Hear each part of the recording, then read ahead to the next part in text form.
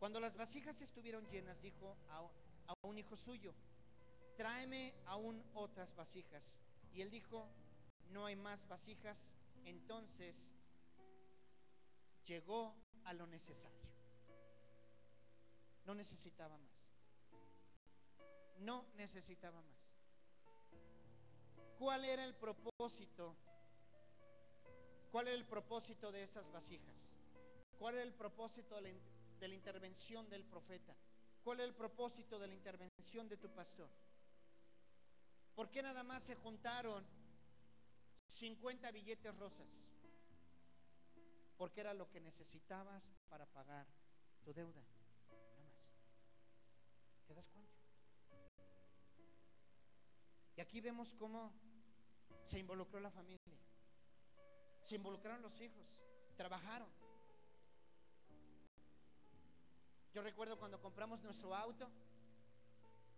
Yo me acuerdo que mi hija rompió su cochinito. Yo rompí el mío. Mi esposa, y buscamos por todos lados. Hasta pusimos de cabeza la chela a ver si tenía dinero. Órale. Yo no sé usted, pero todos tenemos un lugar secreto.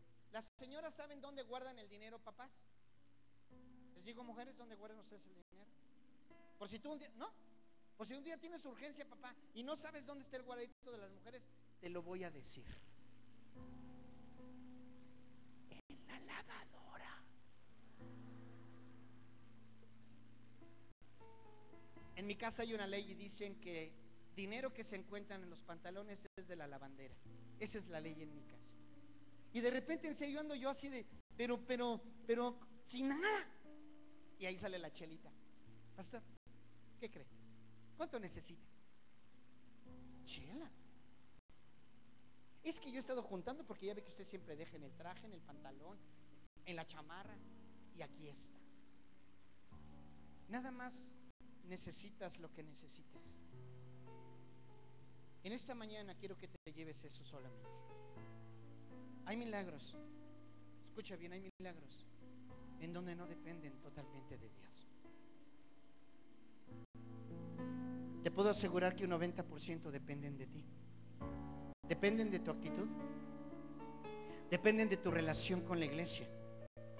Dependen de qué tan acostumbrados estén como familia a ayudarse los unos a los otros. Ese es el secreto.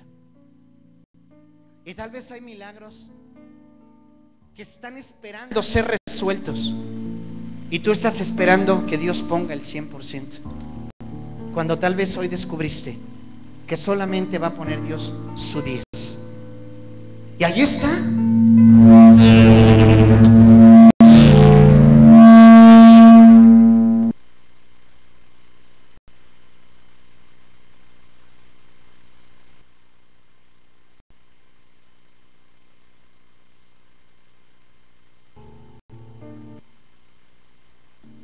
Dios está esperando solamente tu 90%.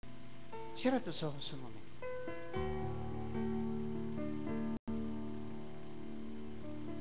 Cierra tus ojos un momento. Yo quiero preguntarte en esta mañana, ¿estás esperando el milagro de parte de Dios? ¿Estás esperando el milagro de parte de Dios? ¿Cuál es el milagro que estás esperando de parte de Dios? ¿Es económico? ¿Es físico? ¿Es emocional? Es la misma regla. Es la misma regla. Tú pones tu parte y Dios pone la suya. Hay milagros en donde no se van a determinar por la entrada total de Dios, por la intervención total de parte de Dios.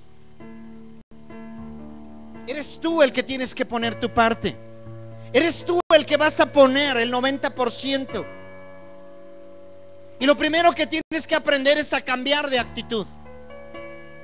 A declarar que siempre va a haber algo, siempre, siempre hay algo que va a salir en donde empieza la solución. Es ese aceite, es eso tan pequeño, tan insignificante, de lo que se va a convertir en un gran milagro. Y tal vez la mujer, cuando el profeta le dijo, ¿qué tienes en casa? Ella buscó tal vez los muebles, la sala, el comedor, Tal vez buscó algún aparato electrodoméstico. No, no, no, no era eso. era aceite. Tal vez lo que menos la señora en ese momento, esa viuda hubiera pensado que podía ser usado para iniciarse un milagro de parte de Dios. El milagro está en donde tú menos lo esperas. Pero en ocasiones tú no lo puedes discernir.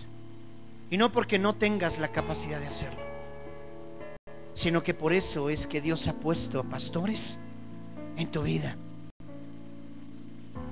Y ahí es en donde entra el discernimiento. Ahí es en donde entra la revelación. Dios quiere que cambies de actitud.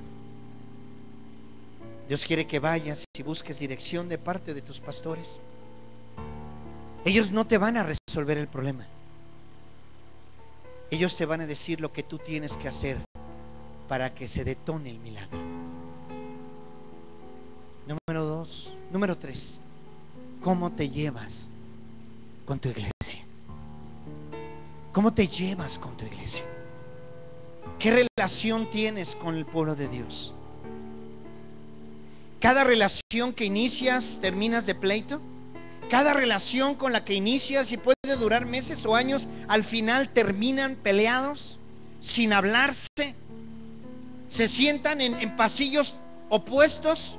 O la gente ha tenido que irse de la iglesia porque tú siempre has lastimado las relaciones. ¿Cómo eres con la iglesia? Y tal vez tú eres de los que dices, yo no necesito nada del pueblo de Dios cuidado. No sea que Dios endurezca el corazón de los hombres y mujeres que podrían ayudarte, pero que no son de su pueblo.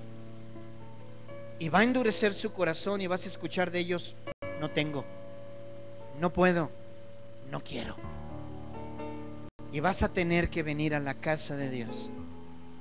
Y tendrás que mostrar tu miseria a la familia de Dios. ¿Cómo está tu relación con tu iglesia? ¿Cómo es tu relación con el pueblo de Dios?